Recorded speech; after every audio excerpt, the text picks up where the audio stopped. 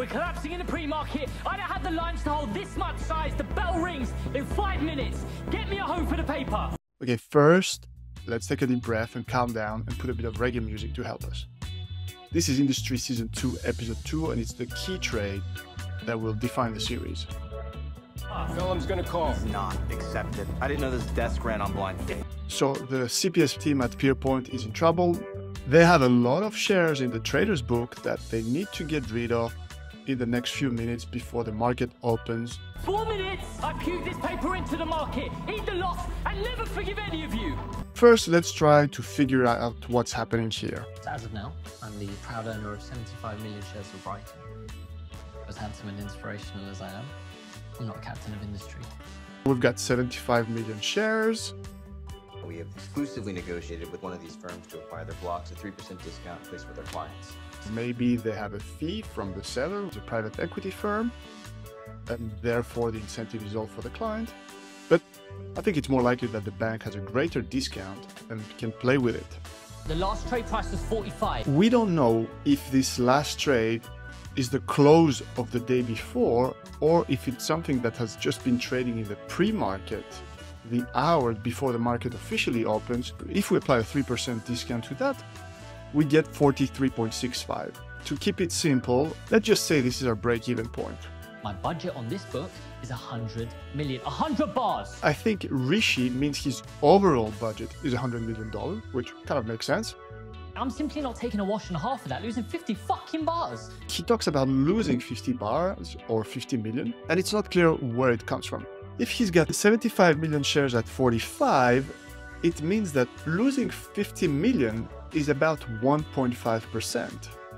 I would say here the risk is much greater than that. I mean, the market can move by 2 3% very quickly. Luckily for them, this meeting happened before. Rycan Healthcare. Huge block.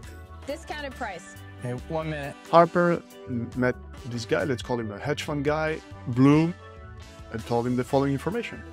No longer has an anchor. Let's make that you.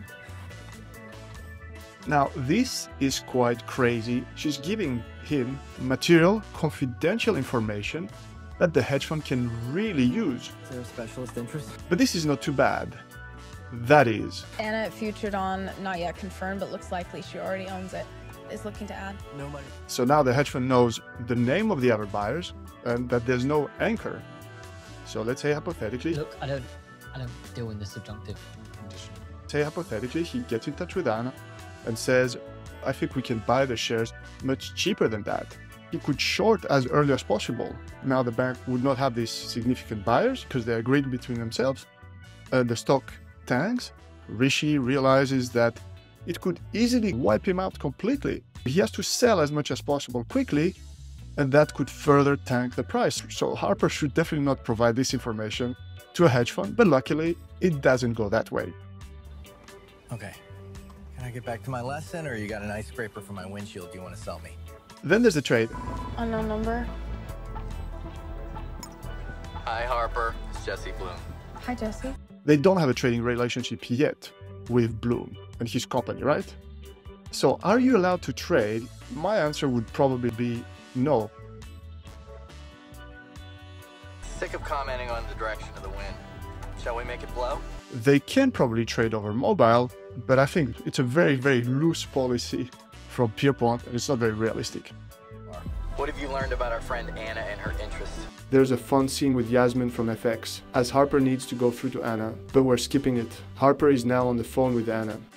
Yes, we have a mismatched FX trade that my back office is having trouble getting in contact with yours to confirm. We booked Pierpoint buys 250 mil quid at 136.62 value spot. Quid is a slang term for the pound. It's not normally used on a trading desk. I think they got it confused with cable, the nickname for the GBP USD currency pair, the UK pound versus the US dollar.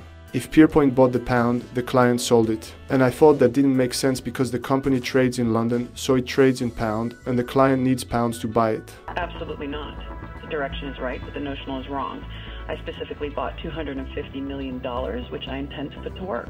But she says no, I bought US dollar for dollar amount of 250 million dollars. Anna isn't in the book yet, but she is buying at the open. How does she choose to buy at the open? Where she could have a 3% discount, and that was her whole reason to buy. How can you be sure? Her flagship fund is sterling denominated, and when she wants to buy a U.S. asset, she has to raise the dollar. I think there's a double confusion here in the mind of the writers. So let's take it that indeed she bought $250 million and Rycan trades in dollars, but then it would be listed in New York or London. So we're moving on to the trade.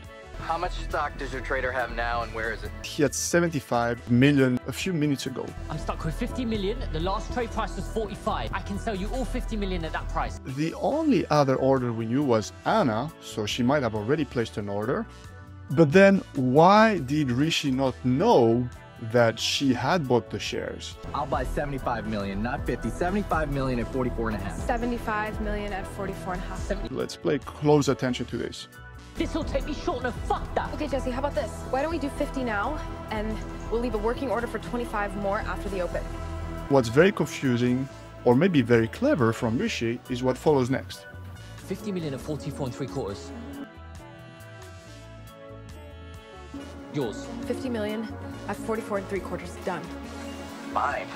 He says 44 and three quarters, but the client said 44.50. 75 million at 44 and a half. 75. That's a nice 25 bips on 50 million shares that he pocketed just by magic, or, or, or maybe the client shouldn't trade 3 billion worth of shares while playing tennis. Eric, got Phelim on line one. Tell him he's in a queue now and his order will have to wait. They saved the day, but now it's a weird position for Rishi's book. He needs to buy 25 million shares more, an additional $1 billion of notional. And Phelim was going to buy the 15 million shares, and he's placing an order for 50 million. So the position has been completely inverted. Now he needs to buy 75 million shares. It's quite, it's quite the ride.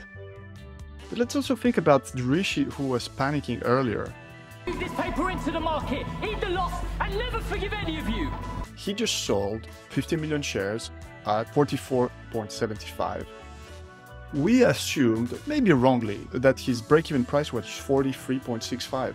He made 1.1 dollars on 50 million shares. He made 55 million dollars in profit. Although he's been panicking, he's done 50 million, like half his budget for the year, in one trade. I'm not very clear on that.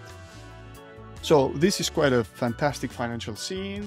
It's very exciting. It's not very realistic. There are a lot of things that don't add up, but I really enjoyed it. Even if the writers messed it up a bit, you have to really give them credit to make this scene so relatable. I hope you enjoy this.